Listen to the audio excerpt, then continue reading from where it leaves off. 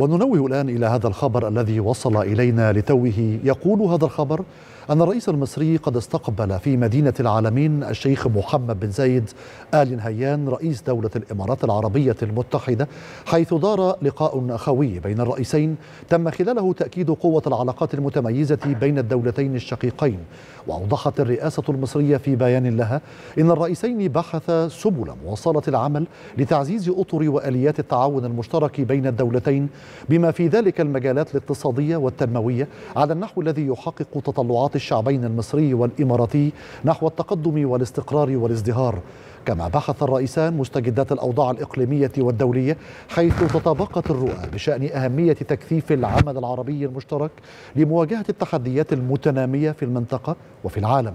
وأكد الرئيسان حرصهما على مواصلة التنسيق الوثيق على جميع المستويات في ضوء ما يربط الدولتين من أواصر تاريخية وطيدة على المستويين الرسمي والشعبي.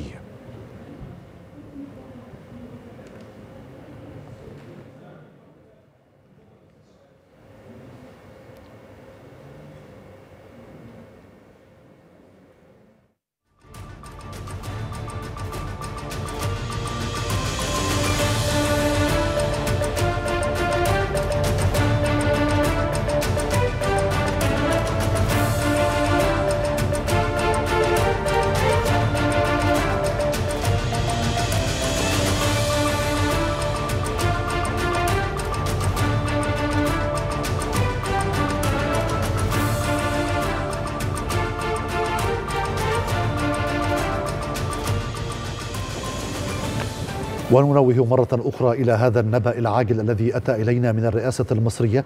وفي نصها استقبل الرئيس المصري عبد الفتاح السيسي في مدينة العالمين الشيخ محمد بن زايد آل نهيان رئيس دولة الإمارات العربية المتحدة.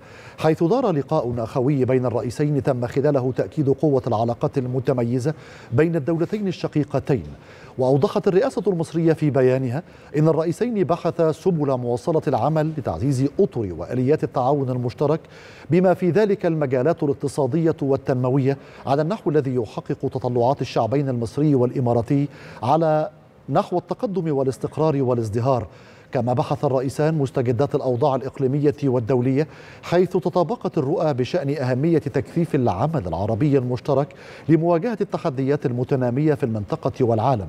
وأكد الرئيسان حرصهما على مواصلة التنسيق الوثيق على جميع المستويات في ضوء ما يربط الدولتين من أواصر تاريخية وطيدة على المستويين الرسمي والشعبي.